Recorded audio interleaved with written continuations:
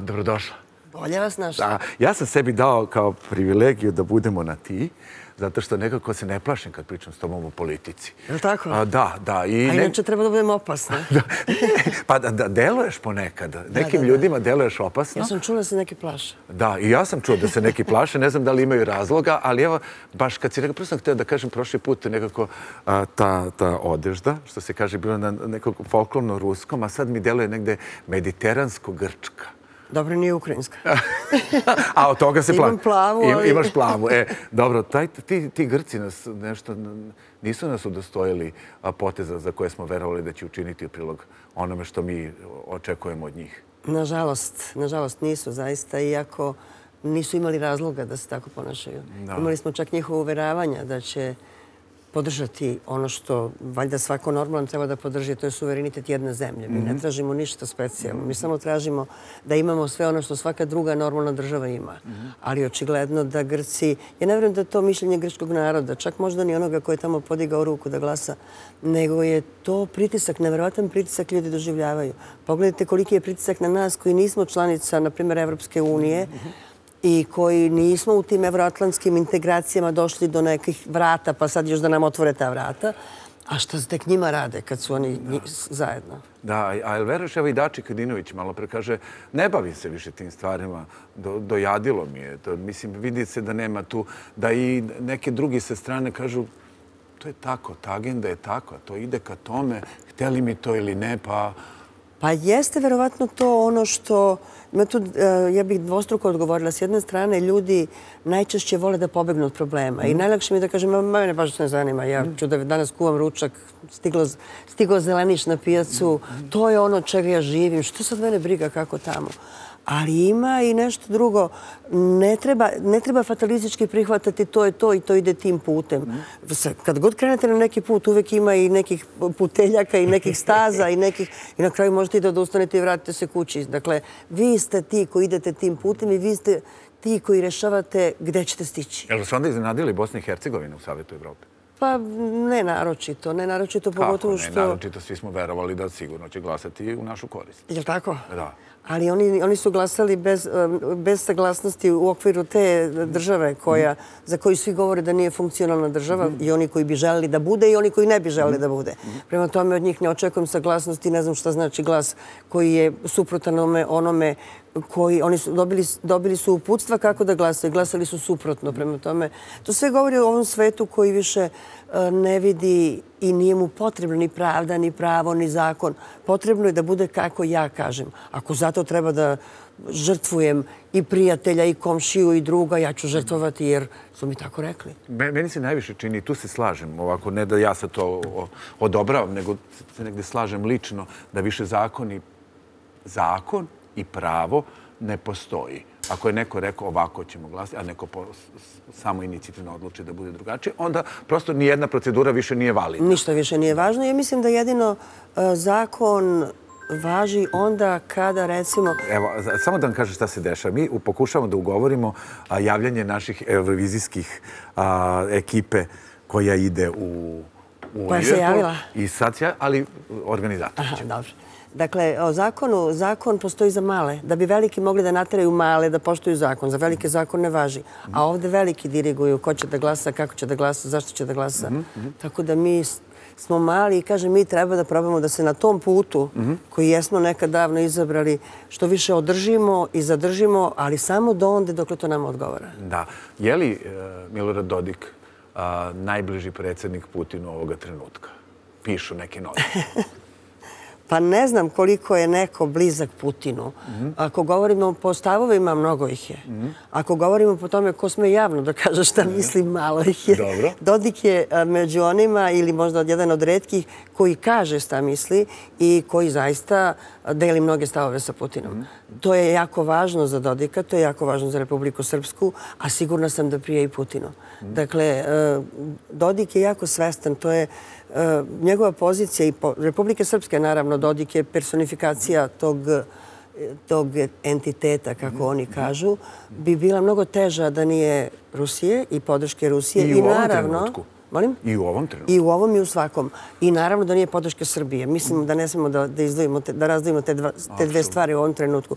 Srbija i Rusija su one koje održavaju i pomažu Republici Srpskoj da se održi. Da, kako, kako ti deluje pozicija i pa negdje javni prostor srpskog rukovodstva, čela Srbije u odnosu na, na, na taj put i zajednički odnos sa Rusijom? Pa pozicija srpskog rukovodstva je užasno teška. Ja ne verujem da se stav, e, recimo, predsjednika ili stav e, onih koji su mislili, a to je velika većina, da treba da imamo prijateljske odnose sa Rusijom, da se promenio mnogo. Ali su na njih takvi pritisci, a situacija se jeste dramatično izmenila. Dogodile se neke stvari koje su dovele u pitanje i našu orijentaciju. Zapravo kad govorimo, tu se desilo nešto što je e, predsjednik Vučić uspeo da na neki način definiše i u svojoj glavi, a verovatno i razmišljajući o našima, e, dovede do toga da kaže naš je princip da zbog naših interesa poštujemo i tuđi suverenitet i da ne možemo da kažemo da Ukrajina ne treba da poštuje, da ne možemo da ne poštujemo suverenitet Ukrajine. Nas je Ukrajina u ovom trenutku uverila, uverila da smo mi pogrešili. I mi danas već, e, bar u ovom trenutku, imamo, čujemo drugačije glasove iz našeg rukovodstva. Dakle, ako vi mislim u ovom slučaju Ukrajinci, ne poštujete naš suverenitet na našoj teritoriji, mi zaista vama nismo dužni i mi možemo iskreni prijatelji da budemo sa Rusijom. Samo sa onima koji poštuju? Koji poštuju naš suverenitet. Da. I ja mislim da je to jako važno i da je dobro što padaju maske. Mi smo, evo za ovih godinu i nešto dana, toliko se dogodilo stvari koje su bukvalno ogolile i mišljenje svetskih političara, naravno i naših i naših koji su ovde sedeli u nekim čoškovima, nisu se ni čuli ni videli, pa su odjednom se pojavili sa zastavama. Sve je to pokazalo u kakvom vremenu živimo i verovatno i dalo impute našem rukovodstvu kako treba se ponaša. Da. Ideja da uh, su priznati izbori bez glasača, i to je ono što sam ja pročitao. Govorili to u prilog uh, Evropskoj demokratiji i doslednosti i šta to može i koliko može da promeni kada, eto, naš predsjednik kaže da ćemo i mi promeniti politiku prema nekima za koje smo videli kako se odnose prema nama. Jeste, dali su nam oružje.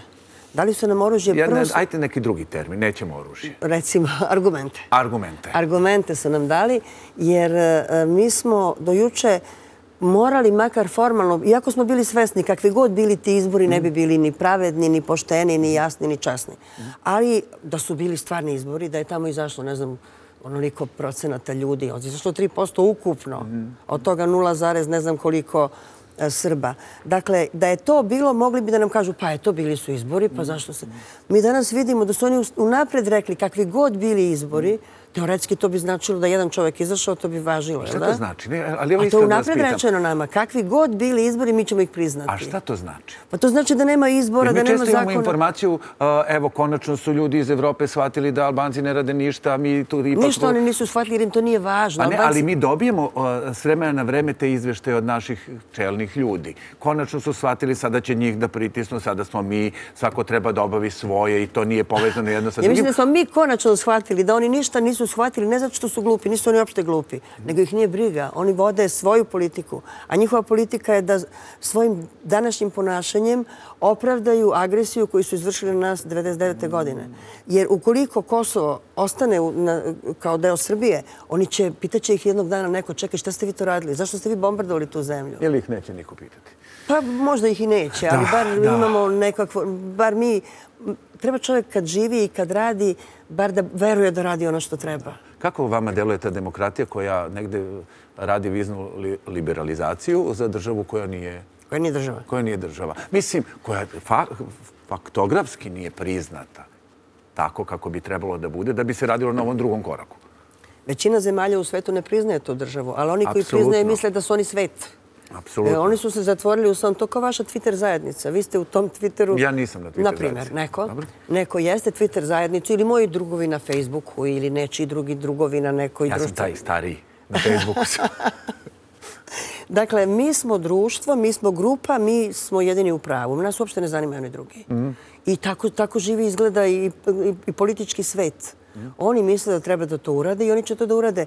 Čime će da nas ubede? Pa probali su da nas ubede bombama, pa nisu uspeli. Sad pokušavaju na ovaj način koji postaje sve suroviji i bezobzirniji i bezočniji, ali se nadam da im neće uspeti i sve više verujem da neće uspeti.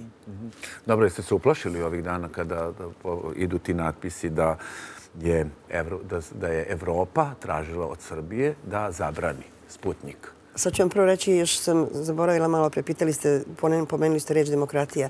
Mislim da je Matija Bečković jednom pre možda dve, tri godine rekao da je to najviše izbrukana reč u posljednje vreme. To je zaista izbrukana reč. Šta ona znači? Od demosa, koji znači narod, tu nema ničega. Nema ničega.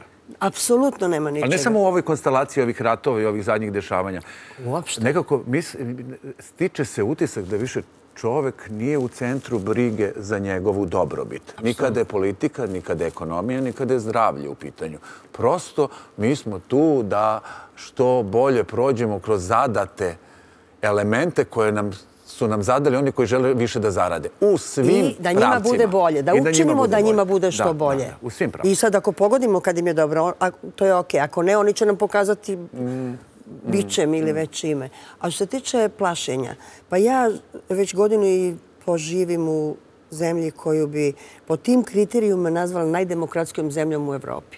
Nikad, ni u jednom trenutku, vlast Srbije ili bilo ko ko je na vlasti ili predsjednik koji o mnogim stvarima ovdje odlučuje nije rekao da Sputnik ne treba da postoji. Govorite o vašem slučaju. Da, da, govorim baš o našem slučaju. I sigurna sam, sad se pojavio i sajt RT koji mnogi doživljavaju kao televiziju, pa su se uplašili više nego što bi mhm. možda trebalo se plaše. Ali u svakom slučaju ja sam sigurna da sve dok bude zavisilo od nas, od naše države, nas niko neće uznemiravati. Ali ja moram da iskoristim priliku da naše čitoce, koji su se možda uplašili malo više od mene, mhm. uputim na to da mi imamo i Telegram. To je društvena mreža koju u Srbiji redko ko ima. Imamo i mi, imaju i još neki. I pošto ljudi obično ne znaju šta je, treba da znaju, imaju na sajtu uputstva. Telegram ne može niko da ugasi. Jasno. To je Telegram inače kao društvena mreža ima dobrih stvari. Ima dobrih stvari, naravno. Ovo je dobra stvar, na neke stvari nikada niko. A ima i nekih koji kada su van kontrole, pričali smo o tome. Jeste, i sve ima dobrih i loših stvari u životu, uključujući nauku, uključujući i sve. Mi koristimo dobre strane Telegrama, mogućnost da nas ljudi čuju i vide, a da niko to ne može da spreči. Da, e kad je da to niko ne može da spreči, da li vas nekako relaksira i da li pozitivnije mislite o budućnosti Evrope u odnosu sa Rusijom, u odnosu na rusku stvar, u odnosu na rat, ova poslednja dešavanja kada je Makron u pitanju?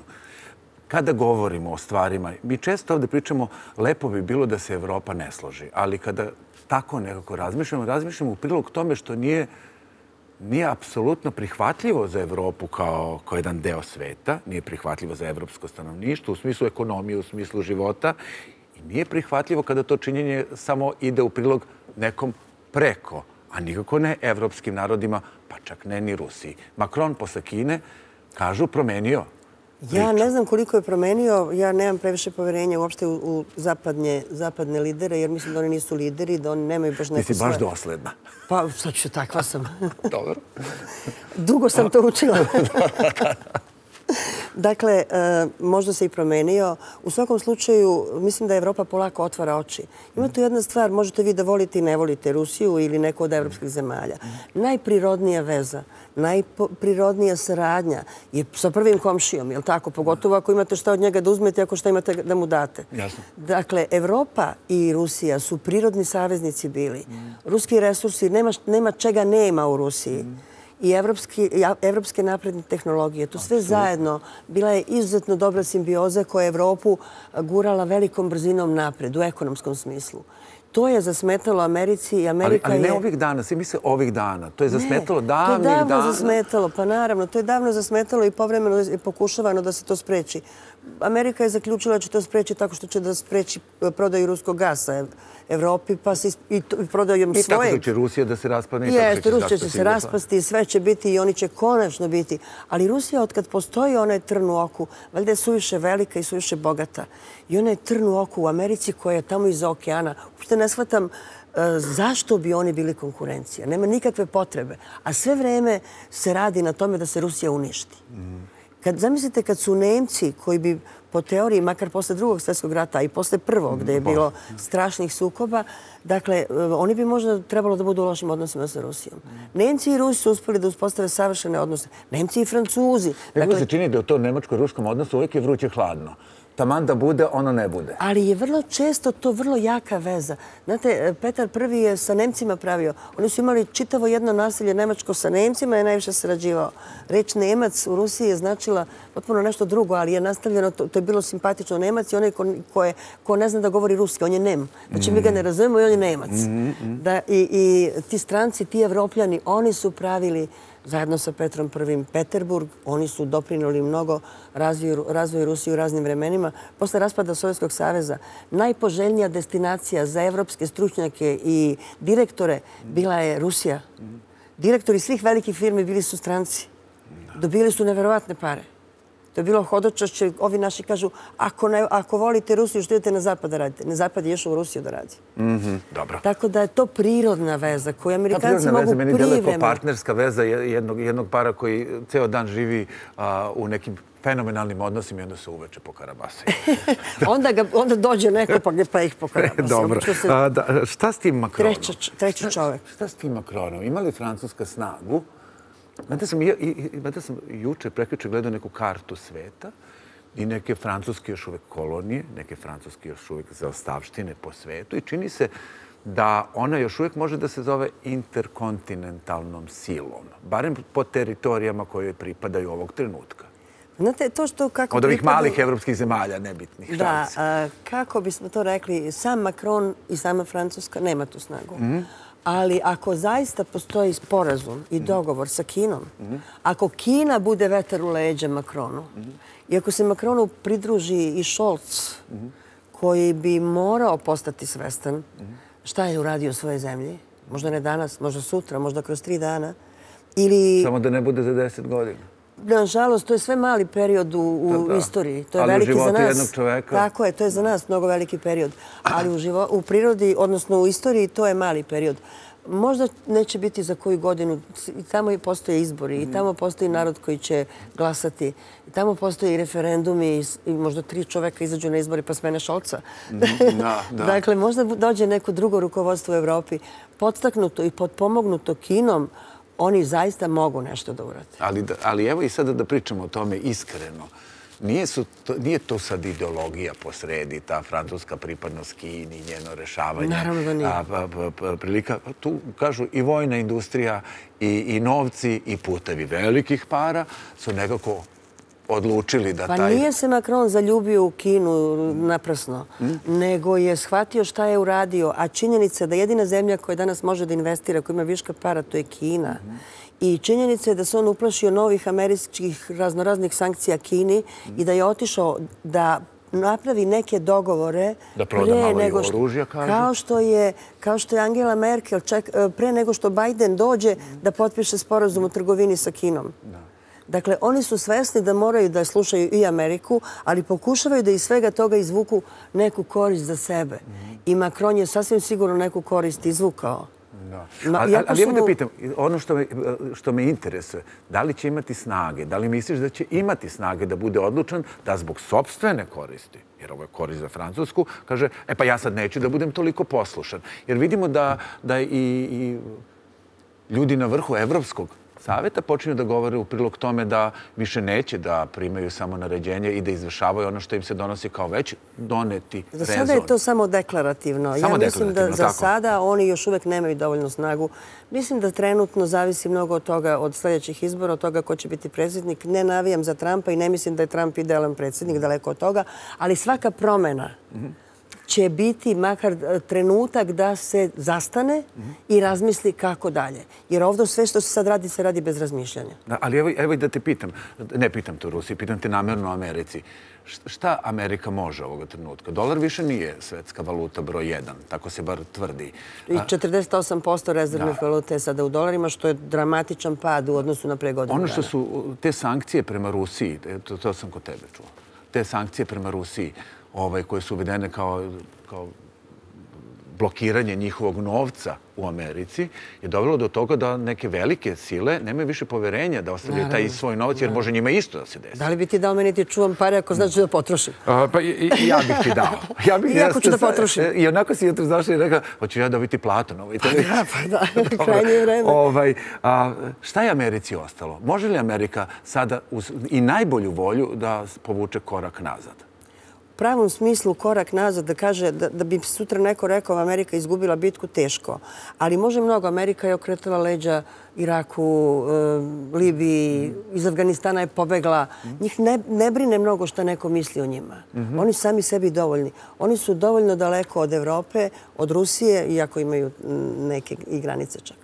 Ali eh, nisu, nisu u situaciji da trpe posljedice ovog sukoba. Evropa trpi, a ne oni. Dakle, njima je lako da, da sednu sutra, ili ne, bojim se da neće biti sutra i ne tako brzo, Nažalost. ali da sednu sa Putinom, bez obzira šta su o njemu govorili i zašto su ga proglašavali. A to mi časkom, showbiz, mediji, da, to jeste, se pre, preobrne. Da, sad pauza, gle kako je dobar, kako je zgodan, jaše konja i tako dalje, i da se dogovore. O, I ja mislim da je to kraj ovog rata i da neće to biti brzo, ali tek kad njih dvojica ili neka druga dvojica, ali e, nisam sigurna da, da će na, na Rusi, u Rusiji biti drugi, dakle, dok sednu predsjednik Rusije i Amerike i ne dogovore se, nema kraja ovog. Dobro. A, kako gledaš na ovu situaciju da ipak postoje evropski, a, evropski a, predsjednici koji mogu za račun svoje zemlje i zaštite svojih proizvođača da kažu ja to tako neću i ne dolazi ovdje. Orbanu pričamo. Pa to bi, trebalo, to bi trebalo da bude normalno ponašanje svakog predsjednika. I naš mm. predsjednik kaže ja neću ovo što mi ne odgovara. Orban kaže ja neću i njemu prete sankcije. Njegova zajednica... Ja mislim da mogu da se desi sankcije. Pa naravno, pa su Poljacima uvodili sankcije pre nekoliko godina, pa sad malo, malo čute, jer im Poljska treba... Sad im Poljska treba kao udarna pesnica za Rusiju. Dakle, mogu oni sve. Oni sve mogu. Nemaju morala, nemaju, ne poštuju zakone, ne poštuju pravo, ne poštuju pravila. Ali nije samo Orban, što je jako dobro. Sad kad je Amerika rešila da ukrajinskim žitom zapravo uništi poljoprivredu Evrope. Dakle, prvo ste energetiku uništili, terajući nas da kupujemo skuplji gas, a sada poljoprivredu. Znate, svaka zemlja može da obstane, i mi smo obstali kroz one strašne sankcije zahvaljujući selu. Svako imao neko selo i otišao i donao džak paprika i džak brašna i preživeli smo. Ne ponovilo se. Čak i da smo Ne ponovilo se, naravno. E, tako i, i znaju sve ove druge zemlje, Češka, ne znam koje su sve, tamo se pobunile, Bugarska, one hoće da imaju svoj hleb da im sutra niko ne uzme hleb. A ovi hoće hleb da im uzmu. I naravno se morali pobuniti. Kad dođemo dotle, energetika je nešto abstraktno. Ali moja njiva, moje parče hleba je moje. I ne damo ga nikom. Da pitan samo ovu stvar. Uvedu li se sankcije Mađarskoj? A ovaj deo sveta, ako uzmemo u obzir i Tursku, jedan deo sveta koji nije onda pod baš takvim patronatom i ne smatra se baš onim što je najbliže ideji ja tebi zadatak, a ti ga ispuniš. Ti raz, razumem. Razumem. Kako razmišljaš u prilog tome? Pa, mnogo I šta to može da promeni? Mm, polako se menja. Nikad se ništa naglo ne dešava osim u ratovima. Mhm. Ali mislim da mnogo zavisi od situacije u Turskoj. Mhm. E, u Turskoj su uskoro izbori. Amerika apsolutno čini sve da Erdogan ne pobedi u tim izborima. Amerika šuruje sa opozicijom, ona im pomaže. Američki ambasador u Turskoj svaki dan je sa tim njihovim glavnim opozicionarom koga su oni zamislili na mesto Erdogana. Erdoganu se urušava rejting na sve moguće načine, uključujući to da ima infarkt, pa nemojte glasiti za njega, on valjda neće moći. Biden može da bude nesposoban za predsjednika, to je okej, ali Erdogan ako ima infarkt pa preživi, nemojte glasiti za njega. Tako da... Ja mislim da je Erdogan najveći teret ove, ove zemlje koji se desio. To je njemu najveći. To je objektivni problem koji ih je zadesio, ali pretpostavljam da i taj turski narod zna. Jel neke izveštaje, procene, procente, koliko ovoga pa, trenutka u Turskoj? Mnogo je teško, mi nemamo sobstvene istraživanja, mhm. a druga istraživanja su uvek e, naklonjena jednoj ili drugoj strani, ali mi je zvučalo lepo i jučerašnji razgovor sa Erdoganom, Putin-Erdogan. Prvo je pokazalo da Erdogan nije imao infarkt i da je u normalnom stanju, a drugo da je Putin rekao da će u svakom slučaju pomoći koliko može Erdoganu i Turskoj i da su ti odnosi jako dobri i da treba da budu dobri. Oni su i susjedne zemlje, zemlje koje imaju mnoge razlike, mnoge razlike u politici, u mnogim oblastima. I svedoci smo toga da su imali baš neke zanimljive razlike. Jesu, ali uspevaju, pa to je zapravo politika. Da, se, da sarađujemo gde možemo, a da ne satiremo one druge zato što nešto ne možemo. Ili mogu ja da te prevedem, možda se nećeš složiti, da sarađujemo onda kad nam je potrebno. Pa nažalost, tako je.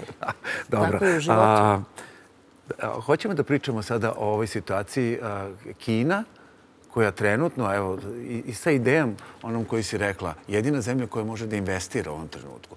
Ali sam htio da te pitam, može li Rusija u ovoj situaciji da pomaže drugim velikim zemljama? Ima li resursa? Samo mi kratko reci. Ima, apsolutno ima, zato što Rusija u ovome mnogo, mnogo je i ljudskih gubitaka, mnogo je i gubitaka finanskih, da je to sve što je upotrebljeno za specijalnu vojnu operaciju upotrebljeno u neke druge svrhe, bilo bi bolje, lakše, lepše. Ali ljudski, ruski BDP raste. Rusija je ove godine, prethodna, zaradila mnogo više nego godinu dana ranije. Dakle, ako je finansijski, ona može. Ako je po ljudskim resursima, može jer se okrenula sebi, jer je, je sa višestruko jače nastavila da razvija svoju nauku, da ono što nije mogla da proizvede sama, sad sama proizvodi tako da može da pomogne. Još uvek ima jako mnogo zemalja, čak i u Evropi, koje su mnogo manje razvijene od Rusije u nauci, u raznim oblastima kojima Rusija može da pomogne. Da. Obzirom da naš razgovor ide i dalje, zanimljivo pričam i ostane cijel jedan segment koji hoću. Samo reži da kažem da nas Sandra Perović čeka na RTS-u, da napravimo kontakt sa njom i onda ćemo imati kontakt i sa našom reprezentacijom koja ide u Liverpool. A mi nastavljamo naš razgovor da mi dođemo do te Kine. Čini se Kina svuda u ovom trenutku. Daleko je, ali... Daleko, ali čini se... Posle Sandre ili... Da, Kina svuda u ovom trenutku. A Kina se uzima i kao etalon za nešto što je za sada jako i negde iznad cijele situacije, iako je to kao kontrapunkt Amerika, i sa idejom da ona može da donese mir, ona može da donese prednost i ona može u ovom trenutku nekako da razreši i odluče o situaciji. Ako ništa drugo, barem da pomogne. Da, ja bih ovo posljednje uh, složila se posljednjim da pomogne. Da razreši, nažalost, ne može. Da donese mir, voljela bih da može. Ali u svakom slučaju ona pokazuje želju da učestvuje u svim najvažnijim procesima u svetu i već učestvuje. I drugi joj priznaju tu mogućnost, jer pre toga se niko nije obraćao Kini. Tako da mi vidimo, vi ste pomenuli oružje i sigurno ste i mislili i na posjetu kineskog ministra odbrane Rusije. Apsolutno. I kad, ja sam ovih dana pravila opet jednu od onih mojih emisija koje ste vi prošli put hvalili, pa sam počela pričom... Ja tu emisiju pregledu jutro. Je li tako? Počela sam eh, pričom o tome kako su Čujen Laja pitali da oceni francusku revoluciju. To mi je baš zanimljivo. Ali, ali sam se bunio samo iz ideje ja imamo jedan život. Ja bih volio da ove situacije pa, činje ne procenjujemo za 100, 150, 200 godina. E tu se razlikujemo od Kineza. Dobro, ali recite šta je rekao taj. A, a Čujen Laja rekao... Uh, mislim da je mnogo rano da o tome danas diskutujemo. Znači, o francuskoj, o francuskoj revoluciji, kad je ona bila. I mislim da će tako se verovatno razgovarati o posjeti kineskog ministra odbrane, jer ono što su svi očekivali, a to je da će sada dođe on i da kaže evo prodaje vam oružje, sve smo rešili, mi smo na vašoj strani. Ne. Čak naprotiv, jedini ko prodaje oružje u tim odnosima je Rusija. Rusija prodaje Kini oružje i to nije novo, to je, to je proces koji već traje. Kina e, pokušava da sačuva svoju poziciju. Jako bitno, ona samo kao neutralna, pritom znamo da nije neutralna u onom pravom smislu reći da podržava Rusiju, ali e, ona samo takva može da utiče na svetska kretanja. Ali, e, Ljubinka, samo nešto da kažem. Nekako više se ne plaši da i transparentno bude ne neutralna. Jer ako kineski vojni vrh prvo ode u posjetu Rusiji, mislim tu se dominantno stavlja. Sve se vidi, a onda svi pojure kod njega. Posle toga su krenuli hodočešće i krenuli iz Evrope da vidi šta je tamo bilo. A to nije slučajno, oni ih primaju. Znači oni žele da taj razgovor sa Putinom na neki način podele sa ovim drugima, da te stavove predstave. Možda je lakše kineskom predsjedniku da objasni Francuzu ili Nemcu kako se može razgovarati sa Putinom i šta Putin može da prihvati i šta ne može. Dakle, da prevede. Pa da prevede, jeste. Preko kineskog se bolje prevode. Da, kad se ne razumeju. ali, ali da pitam, i ta ideja da, da za taj susret sa Zelenskim, ipak govori nešto u prilog tome da Kina želi. Kina, je, Kina nikad ne radi ništa slučajno. Kina je plasirala onu svoju, uh, svoj mirovni predlog u 12 tačaka koji su neki nazvali evanđeljem. Nema ništa, sve ono, da su ljudi ravnopravni, da se vole, da ovo, da ono. Sve da bude ne mora da znači. Je, tako da uh, ona dalje, dalje radi na tome. Mm. S kim može da priča ako ne sa Zelenskim? Pričat će ona i sa Amerikom. Zna ona jako dobro koja je prava adresa. Mm. Ali sve dok se Zelenski koprca mm. i dok on misli da vodi svoju politiku, on, on je možda morao Imamo i mi te lepe reči. Lepe reči, jeste, jeste. On zaista misli da on vodi svoju politiku. Mhm. Tako da je verovatno taj telefonski rezultat... A stalno je tražio. Sveća se, on je stalno govorio, pričalo se da će uh, kineski predsjednik čak iz Moskve zvati Zelenskog. Pa je prošlo više od mjesec dana pre nego što ga je on pozvao. Zelenski se stalno nametao i nudio za razgovor. Znaš što mene plaši? Mene plaši ta situacija i zbog toga sam ovo potegao, nešto, znam nešto više o politici, nego da se Kina uplašio da je ovaj rat otišao daleko. I obzirom da svi ljudi koji su, i sve zemlje koje su mnogo ljudne zemlje, koje paze o svojim ekonomija, ekonomijama, pre svega zbog sebe žele da ga zaustave, a misleći pritom i na novo naoružavanje Ukrajine, 12 pukova po 4.000 vojnika, 50.000 vojnika, toliko izginunih ljudi. Jedino ako im kinezi daju te vojnike, drugi nemaju te I ono što je, naj, i ono što je naj, najstrašnije, a to je ta vrsta naoružanja koja nas sada već plaši. Ali ja mislim da ne postoji normalan lider svetski ko se u ovom trenutku nije uplašio. To je mogu se folirati da kažu, ma ne, ne, ne. Kako da se ne uplaši? Jel misliš da su se stvarno uplašili i nuklearnog rata? Ja mislim da se uplašili. Jer mi to stalno pričamo o tome, nekog mislimo, ma nema... Ma, mi okrećemo leđa problemu, kao smo na početku rekli. Sad neću, idem da kuvam ručak. Izvinite, ovaj, vrlo je opasno napadati zemlju koja je nuklearna sila. Nema ona nuklearnu bombu da vas plaši, nego da u slučaju da je zatreba, ona nju upotrebi. Ja ne želim sad da budem ja neki, neko ko sad plaši ruskom nuklearnom bombom. Ali to su Rusi nekoliko puta rekli. Dakle, ovo služi da vas spreči da nas napadnete. Ali ako nas napadnete, mi to moramo da iskoristimo. Je li Kina shvatila da je sad ta crvena linija u toku da, da, da mora da uleti kao, da prevede kao medijator da se ne bi desilo? Jer je ona to proveravala, ona je razgovarala. I znate, mnogo je važno kako su se rastali, kako su razgovarali, to sve znamo. Ali rastanak Putina i Sija bio je uz Putinove reči čuvajte se, dragi prijatelju. Dakle, oni su jako dugo razgovarali. E, si sigurno zna šta misli Putin i šta želi da uradi Putin. Ono nekoliko Putin želi da se zna, da se razumemo. Ali to je važna stvar. Rusija nije ušla u specijalnu operaciju da bi bila poražena, pogotovo ne od neke manje zemlje. Koliko za nas bila velika Ukrajina, za njih je mala. Tako da tu da, i Kina stalno govori da se moraju poštovati interese Rusije u, tom, u tim pregovorima. I tih 12 tačaka će biti na stolu samo ako uvaže interes Rusije. To je Rusija rekla. Ovo je dobra osnova. Ovo je lepo da se na ovaj način razgovara, ali mi imamo svoje uslove za to. Da li je Ukrajina u poziciji da postavi svoje, to ćemo vidjeti. Je li u poziciji? Ne. Ja mislim da ne, ali oni misle da. Ne, I zato još čak i sa idejom da Evropa će dati posljednji dinar da bi pa što njih briga za evropske pare. Amerikanci još e, dižu e, tu mogućnost da, da se zadužuju, dakle oni štampaju još para. Slaće, šta koga briga? Amerikance to košta koliko košta to parče papira. Kažu Kina više ne kupuje te obveznice. Pa naravno da ne kupuje ni luda. ni luda, dobro. A sve, svo to prisustvo Kine na svim meridijanima i mogućnost da se ulaže jer ima se para u sve zemlje. Kažu, kinezi dođu, naprave, pa odu, ne treba im ništa. Jel pa to tako se čita sa ove distance, a kako će se čitati za, za, za ne znam koliko? Ja ne mislim da im ne treba ništa, jer ja sam svedok, to se dosta dobro videlo iz Moskve, zato što je granica, duga granica Rusije sa Kinom i da su Kinezi u, u tom delu Sibira uzimali zemlju pod zakup na 99 godina, da su pravili fabrike, ovo ono, sve što im je trebalo. Rusija je zemlja sa velikom površinom, sa relativno malim brojem stanovnika. Tako je, tako je. Ali ja sam imala prilike da razgovaram sa nekim jako zanimljivim ljudima koji su živjeli u Kini, koji su ruski stručnjaci, naučnici, stručnjaci za Kinu, koji su govorili Kina polako, ona nema tada, pre 10-15 godina, Kina nije žela da se vidi, ali da žele da bude prisutna. Ona je kapilarno se svuda uvlačila i te, ne znam, kineska četvrta ovde, onda, ali to nije bilo ne znam koliko istaknuto. Mi tek sad vidimo Kinu kao političku silu. Mm. Da što je Kina shvatila ili zaključila da je spremna da izađe na scenu jaka, silna, pre svega ekonomski jaka, samim tim i politički jaka. Drugo, vi razgovarate sa zemljom koja ima milijardu i po stanovnika. O čemu mi pričamo? Ko to sad preti Kini? Ona nema tu konformističku kulturu sad i odma. Naravno, I za mene. naravno. To je ono što vi rekli, ja bi deset godina... Ali ne bih ja baš... Ja, ja sad, evo, evo sad i na kraju ću da kažem, pa se čak tu i ne složili.